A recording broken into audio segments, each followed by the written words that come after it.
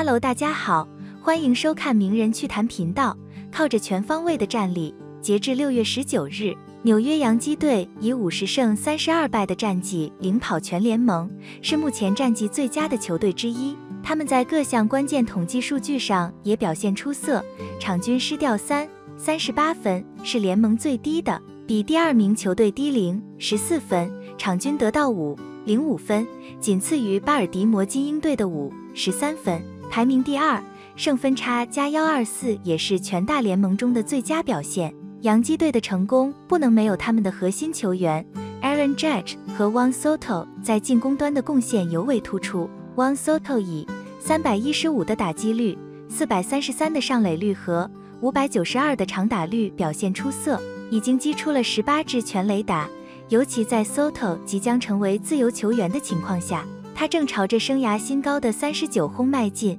为球队提供了重要的长城火力，特别是左打手的能力。尽管 Soto 在全大联盟的表现令人瞩目，但在洋基队内部，Aaron Judge 却是球队的最佳打者，他的 OPS 加达到了二百一十，是全大联盟中最高的，而 Soto 的 OPS 加则是一百八十九，在洋基队内排名第二。其他在大联盟 OPS 加前五的还包括 Marcel Ozuna 一百八十一，Kyle Tucker 一百七十八和大谷翔平一百七十四，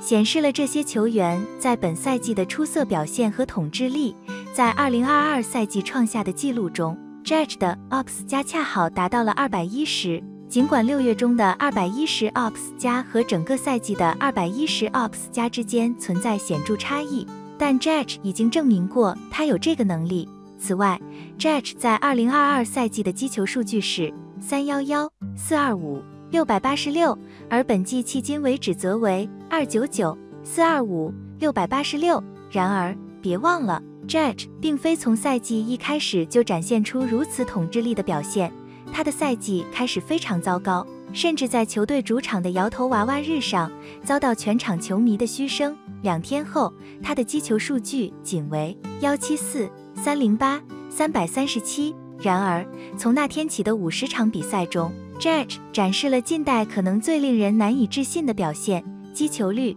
三百六十，上垒率四百八十，长打率八百五十四，其中包括十七支二垒安打和二十三支全垒打。这五十场比赛的时间范围从四月二十四日开始。此后只有 Alec Bohm 的二十一支二垒安打比 Judge 多，因此在几乎所有数据方面，Judge 都遥遥领先。自从二零一七年初登板以来，Judge 一直是全联盟最强的长打手之一，而包括二零二二赛季在内，今年绝对是他职业生涯中长打火力最强的一年。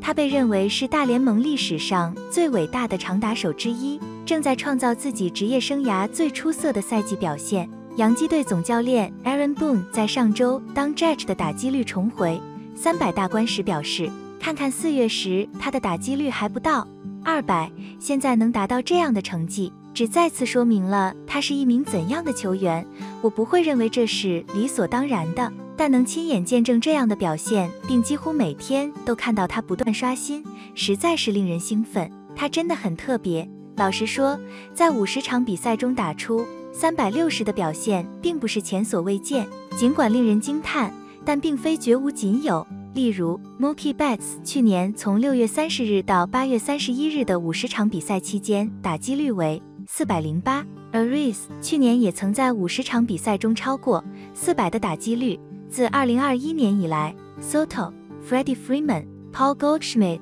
和 Corey Seager 等球员也曾在五十场比赛中展现过超过。三百六十的打击率，四百八十的上垒率，对于 Judge 来说并非新鲜事，甚至在他职业生涯的某些五十场比赛区间中，这并不是他的最佳表现。例如，在二零二二年七月二十四日到九月十九日期间，Judge 的上垒率高达五百一十一；而在二零二一年，Soto 在五十场比赛中缴出了五百五十五的上垒率。Bats。大谷和 Bryce Harper 等其他球员在过去四个赛季也曾在五十场比赛中展现过超过四百八十的上垒率。然而，在本世纪以来，除了 Judge 之外，只有另外五名球员曾在五十场比赛中达到至少八百五十的长打率。而只有十名球员在五十场比赛中达到一千三百的 OPS。两千年初期的 Bonds 被认为是棒球史上最为出色的击球手之一，因此在五十场比赛内打出八百五十的长打率和一千三百的 OPS，只有极少数顶尖球员才能做到，像 Mike Trout、Albert Pujols 和 Miguel Cabrera 都没有做到过。而 Judge 成功进入了这个极为罕见的名单之中。在本赛季的前七十四场比赛中，Judge 已经敲出了二十六支全垒打。显示出他正朝着创造单季五十七轰全垒打的节奏迈进。虽然这个数字不及他在二零二二年创下的六十二轰的记录，但已足以使他进入历史上单季全垒打数前二十名的名单，并将成为美联史上单季第七多的全垒打数记录。与二零二二年的前七十四场比赛相比，Judge 当时击出了二十八支全垒打，距离现在仅差两轰。显示出他在接近创造类似的壮举，这只要一个火烫的系列赛就有可能发生改变。如果他能像在2022年6月1日到6月3日那样，在三场比赛中敲出四支全垒打，他就有可能超越去年的全垒打进度。到那时，我们可能会开始讨论他是否能打破自己创下的美联全垒打纪录。考虑到他本赛季开局时的低迷，现在已经在讨论追赶2022年的记录，确实令人惊讶。这显示了他作为一名球员能够在赛季中逆境中崛起，并展现出强大的反弹能力。讨论 Judge 追逐美联全垒打记录可能不那么引人关注，真正热衷的球迷更关心 Judge 的总长打数及他能否创下新纪录，尤其是能否挑战单季一百支长打的成就。大联盟历史上仅有十五次有球员达成至少一百支长打，自一九四八年以来更是只发生了六次。单季最高纪录是一九二一年 Babe Ruth 的一百一十九支长打。特别要提到的是，Bell 在一九九五年缩水赛季的一百四十四场比赛中就达成了一百支长打，其余的球员则是在一百六十二场完整赛季中完成这一成就。二十一世纪也有一些非常接近的球员，例如二零一三年 Chris Davis 击出九十六支，Derek Lee 在二零零五年击出九十九支，以及 Pujols 在二零零四年也击出了九十九支。从二零一四年到二零二三年间，大联盟长打的领先者平均每赛季有八十八支长打。Judge 在前七十四场比赛中击出了四十九支长打，包括二十二支二垒安打。一支三垒安打和二十六支全垒打，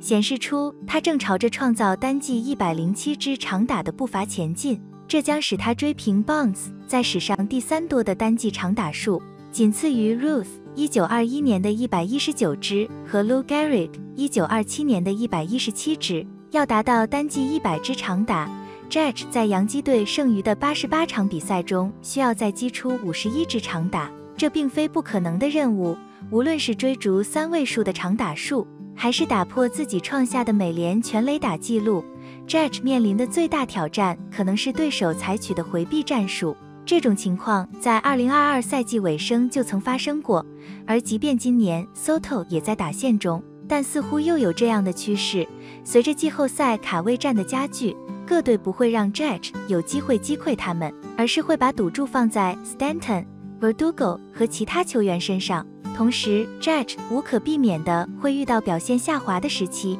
这是肯定的。他是一位非常出色的打者，但绝对无法稳定的维持八百五十四的长打率或者一千三百三十四的 OPS，因为这样的球员几乎就是不存在的。尽管他在状态良好时能够展现出这样的表现，但不能长期保持在这个水平上。如果 Judge 剩余的赛季能够保持一千的 OPS，可能并不令人意外。但达到一千三百，这几乎是不可能的。然而，就目前而言，